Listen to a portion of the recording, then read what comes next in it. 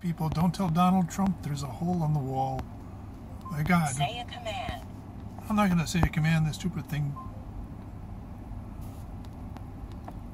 My command is I'm going through the wall.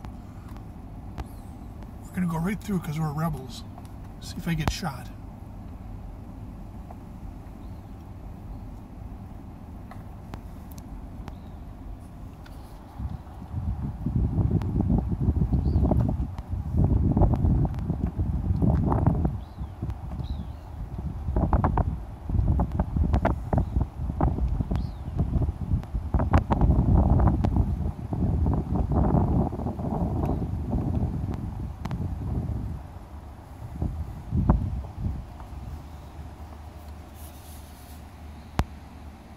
So far, I haven't been arrested.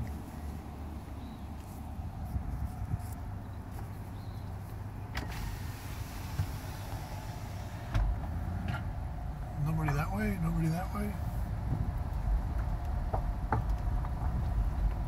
I went through the wall.